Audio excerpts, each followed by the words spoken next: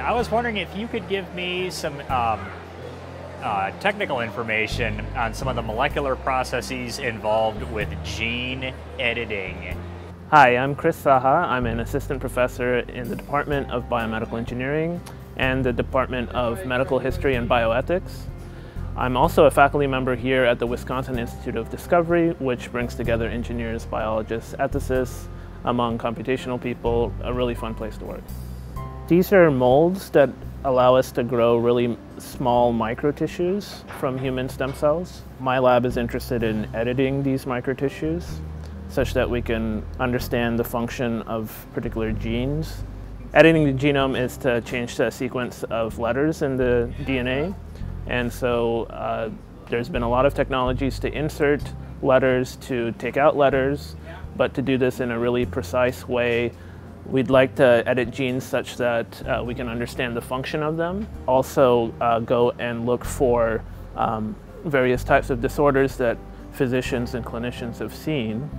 Editing the genome has been harder. So there's been uh, a number of technologies that have gone in and used basically genetic scissors to cut up the, the DNA.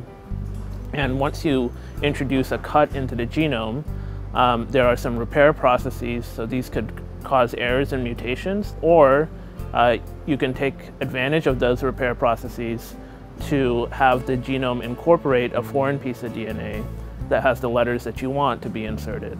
In human cells, this type of work has been done probably for the last 15 to 20 years, and they utilize a set of proteins that are called um, nucleases.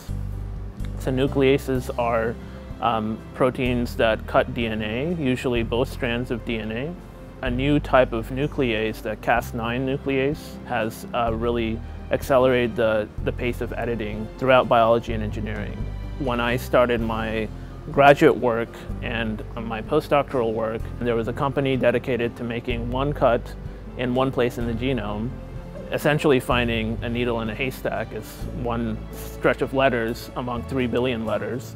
In the years since then, the specificity is defined by an RNA that's easy to synthesize and um, easy to what people call multiplex, uh, which is go after multiple parts of the genome.